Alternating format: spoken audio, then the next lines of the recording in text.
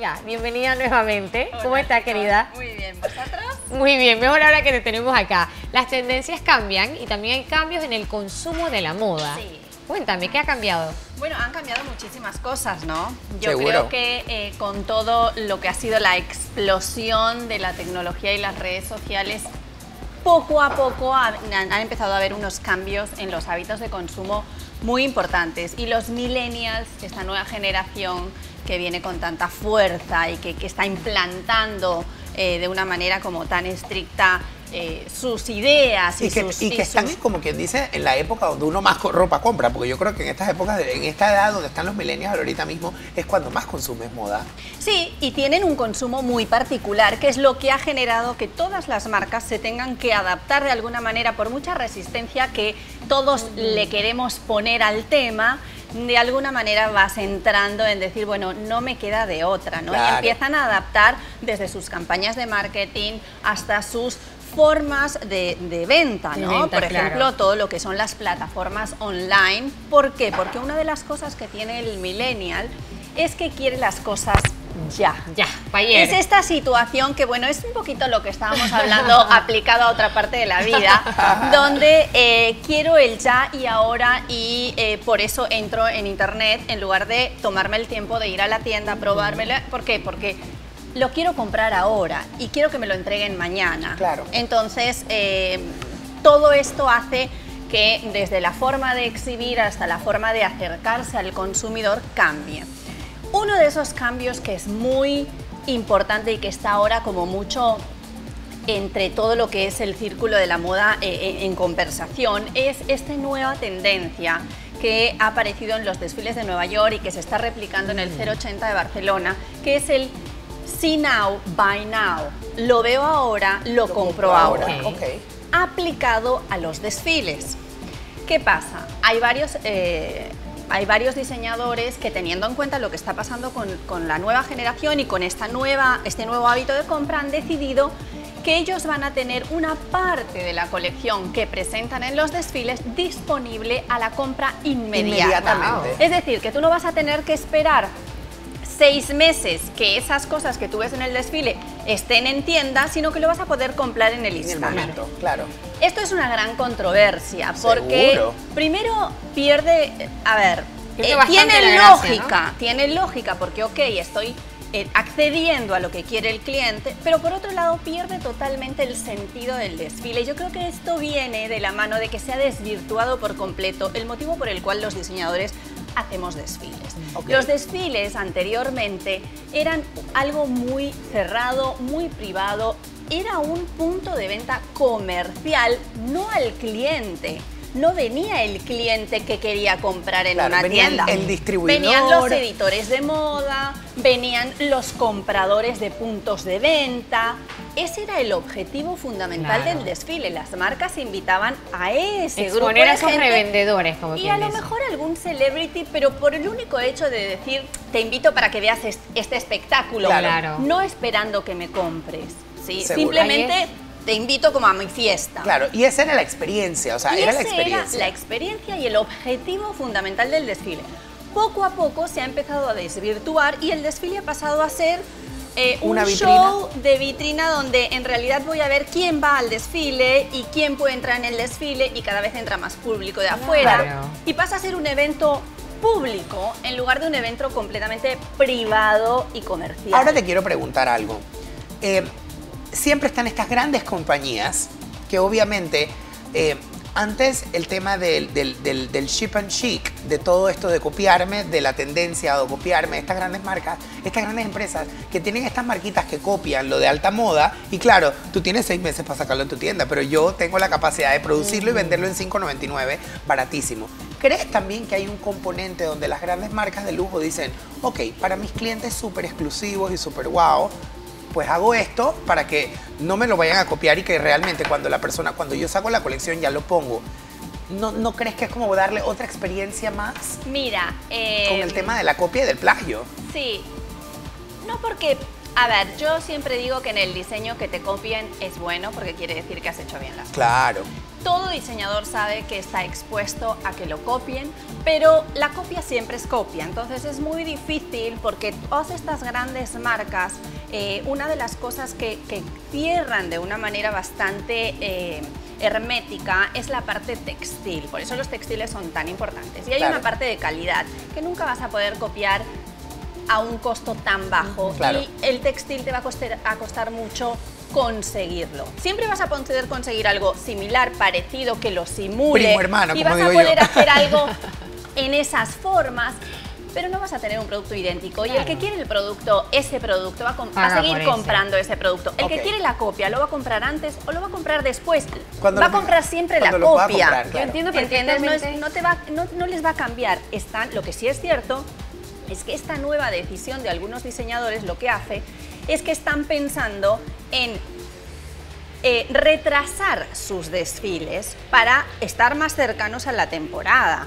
Porque en realidad a nivel logístico tampoco te conviene ni te cierra tener sacar, sacar una colección disponible seis meses antes de lo que en realidad tú tienes que sacar esa colección. Es un caos logístico para la empresa porque yo te digo, por ejemplo, yo hoy estoy con tres colecciones a la vez. Tú estás entregando primavera-verano 2017, fabricando otoño-invierno 2017-18 y con la colección primavera-verano 2018.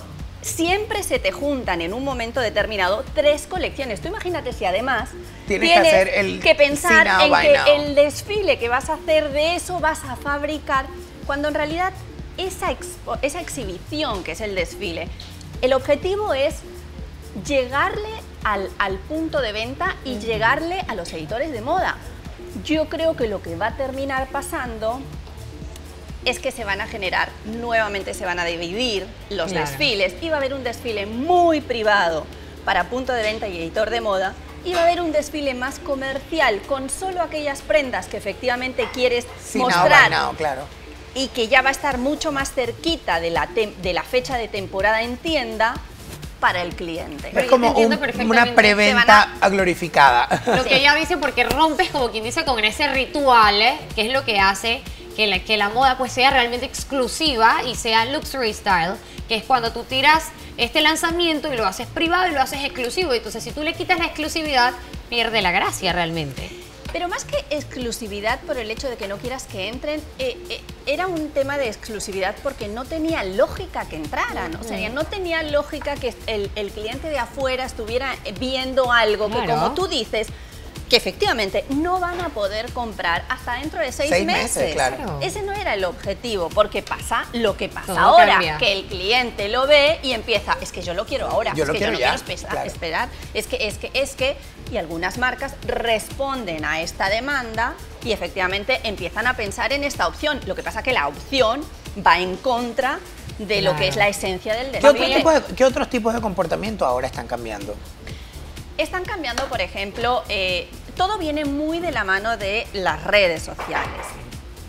Anteriormente las campañas de marketing que nos, que nos daban como esa imagen de la marca tenían estaban muy de la mano de la esencia de la marca. Hoy, si os fijáis, la mayoría de las marcas han salido un poquito de su esencia y lo que hacen es buscar a los nuevos influencers, digamos, a las influenciadores. voces de la moda que son un poco las que están moviendo todas estas masas generacionales, no porque tengan el crédito a veces para hablar y opinar. Siempre porque tienen el poder mediático. Exactamente, lo cual es un peligro. Claro. Sí, porque la marca, en vez de, hacer, ven acá, eh, pégate tú, artista, mi marca, agarra la esencia del artista y la marca se pega al artista y el artista lanza una colección, la modelo lanza una colección que en realidad hace poco lo hizo una marca muy reconocida de, ropa más o menos eh, informal y cuando vi la colección yo me dije, ¿pero qué hizo esta chica? No hizo nada especial, nada que yo no haya visto. Sí, eso es un gran peligro para las marcas y más porque tú siembras y cosechas en cualquier otra industria pues sobre tu imagen, sobre tu look and feel, sobre los valores, sobre tu ideología y de repente ves a de repente una persona que no habla los valores de tu marca y simplemente lo utilizas por el poder mediático, creo que es una apuesta bastante ambiciosa. Sí, por el poder mediático y además porque ellos están tratando, las marcas convencionales saben que la generación a la cual le han vendido siempre durante muchos años... Ya no va a comprar más. Poco a poco, cada vez es más grande y en algún momento va a desaparecer. Están obligados a empezar a dirigirse a esa nueva generación. El problema es que esta nueva generación es tan particular que les está obligando a ver de qué manera se acercan. De qué manera conectan. Y de qué manera conectan. Y la única forma que de momento encuentran de conexión, que además viene vinculada de la mano de las redes sociales, son estos influencers, son estos bloggers. Estos artistas. Eh, estos artistas, hijos muy jovencitos, hijos de famosos en realidad, porque ya no es el artista, es el hijo del artista claro, claro. al que buscan. Entonces adaptan eh, su imagen a esta onda juvenil porque lo que necesitan es captar esta nueva generación de jóvenes que tienen poder adquisitivo y que se comporta diferente y tienes que entrarle de una manera diferente que tiene muchísima información, muchas más opciones, mucho más acceso a la información. Es muy complicado llegar a ellos. Es muy complicado, es mucho lo que está los cambios que están generando. La pregunta es hasta dónde las marcas de lujo que por ahora muchas eh, tienen mucha resistencia a todo esto, ¿hasta dónde se van a poder resistir?